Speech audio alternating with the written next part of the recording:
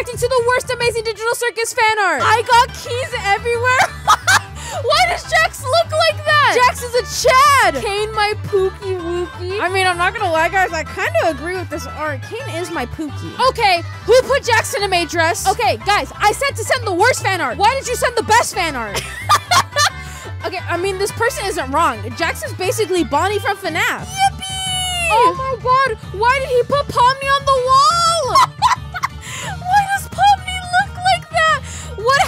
to them? This isn't even fan art. You just colored a bunny to look like Jax. It's not supposed to be fan art of Jax.